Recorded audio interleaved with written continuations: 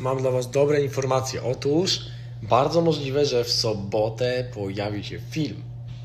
Nie mówię, że na 100%, ale możliwe, że będzie.